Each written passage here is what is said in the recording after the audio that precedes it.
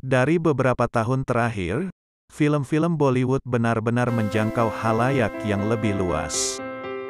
Film-film ini membuktikannya. Film-film ini tidak hanya laris dan mendulang uang saat dirilis di dalam negeri, tapi juga menghasilkan pendapatan yang fantastis saat dirilis di luar negeri. Berikut ini kami kumpulkan daftar film Bollywood yang menghasilkan pendapatan paling tinggi saat dirilis di luar negeri. Tapi sebelum itu jangan lupa untuk subscribe channel ini agar kalian tidak ketinggalan info-info menarik lainnya seputar perfilman Bollywood.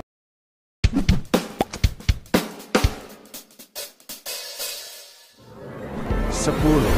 Sanju 2018 Sanju adalah film drama komedi berdasarkan biografi kehidupan aktor Bollywood Sanjay Dutt.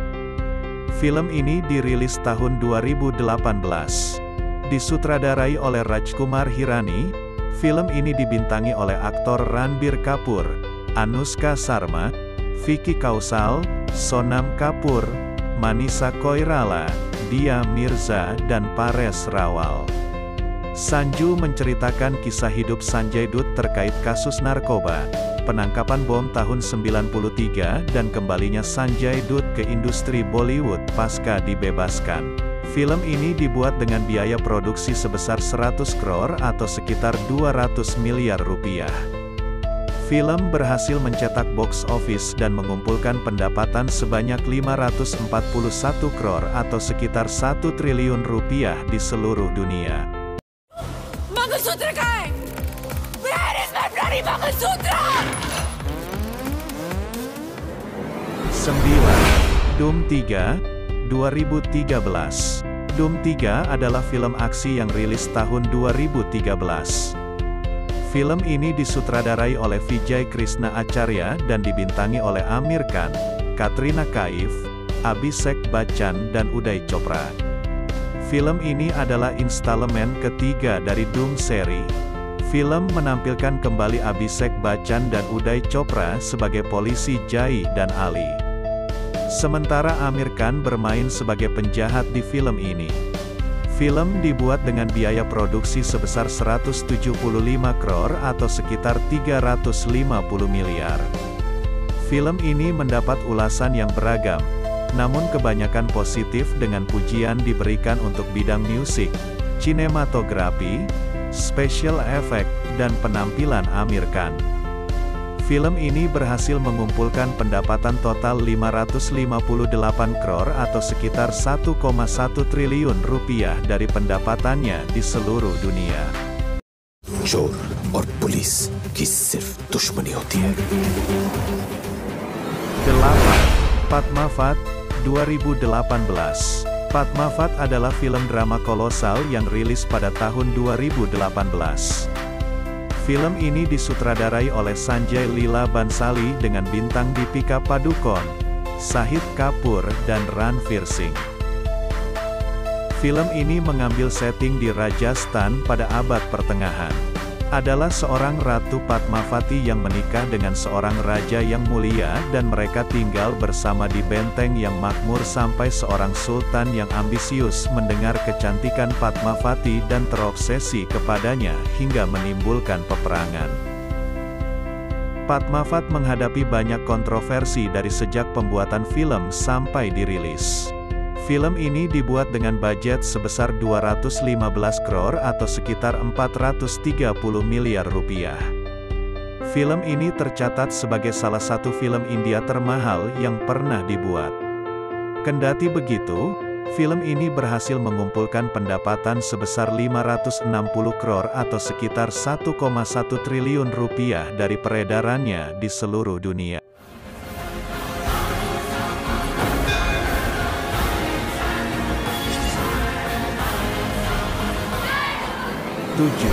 Tiger Zinda Hey 2017 Tiger Zinda Hey adalah film aksi thriller mata-mata yang dirilis pada tahun 2017. Film ini disutradarai oleh Ali Abbas Zafar dengan bintang Salman Khan dan Katrina Kaif. Ini adalah film sequel dari film sukses Ekta Tiger yang rilis tahun 2012. Film Tiger Zinda Hey menerima ulasan yang umumnya positif, dengan pujian atas aksi dan penampilan Salman Khan. Film ini memakan anggaran pembuatan sebesar 210 crore atau sekitar 420 miliar. Tercatat sebagai salah satu film India termahal yang pernah dibuat. Film Tiger Zinda Hey berhasil meraup pendapatan seluruh dunia sebesar 565 crore atau sekitar 1,1 triliun rupiah.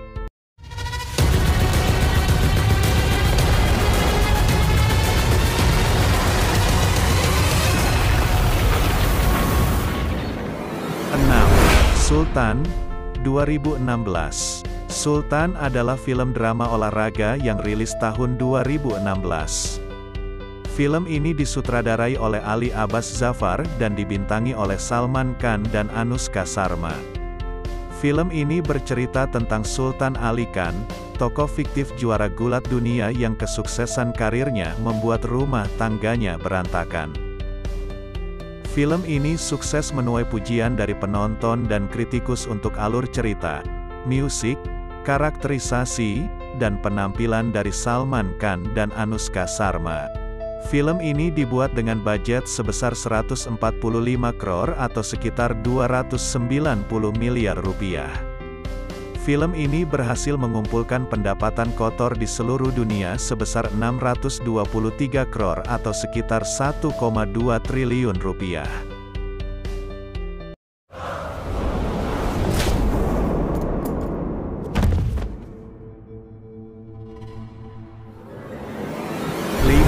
PK 2014 PK adalah film drama komedi satir yang rilis pada tahun 2014. Film ini disutradarai oleh Rajkumar Hirani dengan bintang Amir Khan, Anushka Sharma dan Susan Singh Rajput. PK bercerita tentang seorang alien yang datang ke bumi, dan kehilangan remote yang berfungsi untuk memanggil pesawat luar angkasanya. Petualangannya dalam mencari remote untuk bisa kembali ke planetnya, membuat kita mengevaluasi kembali dampak agama terhadap kehidupan kita yang sesungguhnya. PK sukses dan menerima ulasan yang positif dan pujian untuk penampilan Amir Khan serta bagaimana sutradara menggambarkan kisah fiksi ini begitu nyata. PK dibuat dengan anggaran sebesar 85 crore atau sekitar 170 miliar. PK berhasil mengumpulkan pendapatan kotor dari rilisnya di seluruh dunia sebesar 854 crore atau sekitar 1,7 triliun rupiah. और हर सुनसान गली में होती है कपड़ों की दुकान जो पसंद आए पहन लो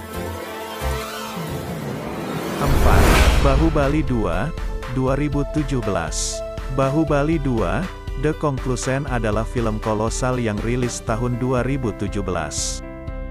Film ini disutradarai oleh SS Rajamouli, dan dibintangi oleh superstar dari Selatan Prabas, Rana Dagubati, Anushka Seti, Tamanna, dan Ramya Krishna. Ini adalah film sequel dari Bahubali yang rilis pada tahun 2015. Film ini dirilis dalam bahasa Telugu, Tamil, dan Hindi. Untuk versi Hindi, film ini menduduki peringkat keempat film berbahasa Hindi terlaris di seluruh dunia dengan total pemasukan 893 crore atau sekitar 1,7 triliun rupiah.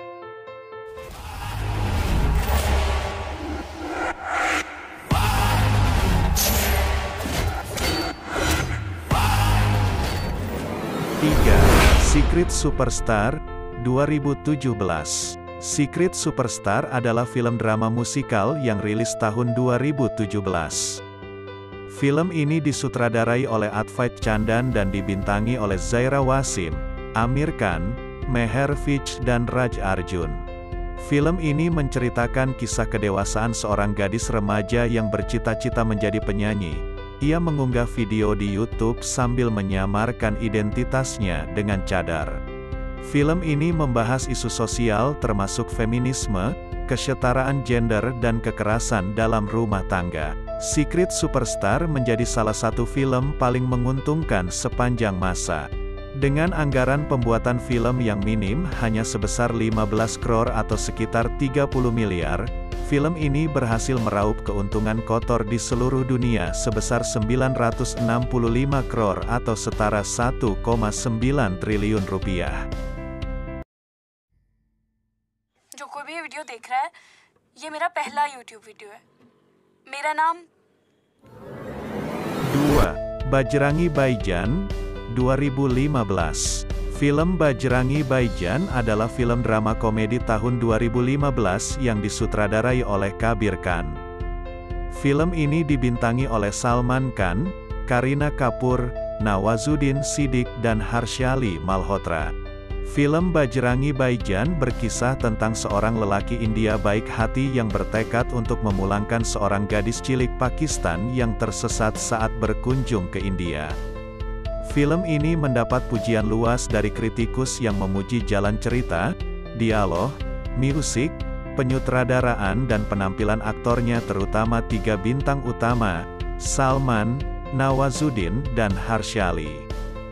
Dengan budget film sebesar 90 crore atau sekitar 180 miliar, film ini mampu meraup keuntungan kotor di seluruh dunia sebesar 969 crore atau sekitar 1,9 triliun rupiah.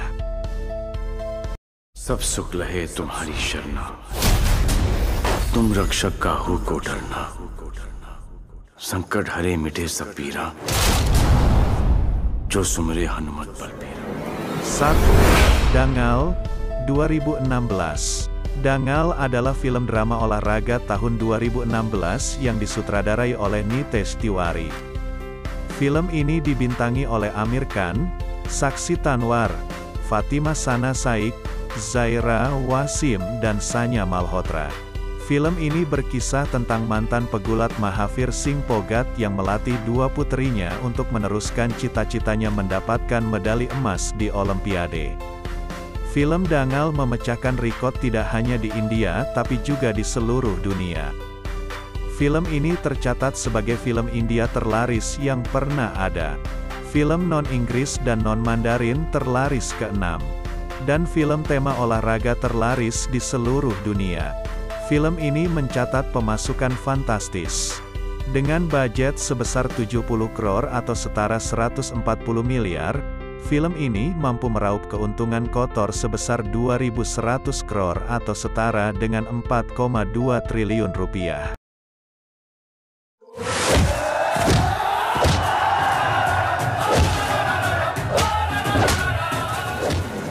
Nah Sobat Info Bollywood Indonesia, itulah daftar 10 film India dengan pendapatan tertinggi saat dirilis di luar negeri. 10 daftar film ini tidak hanya sukses dan mencetak uang saat tayang di India, tapi juga menghasilkan jumlah yang fantastis saat rilis di seluruh dunia. Terima kasih sudah menonton video ini sampai selesai. Jangan lupa untuk menekan tombol like, komen dan bagikan video ini jika kalian merasa video ini bermanfaat. Sampai jumpa di video-video berikutnya. Salam info Bollywood Indonesia.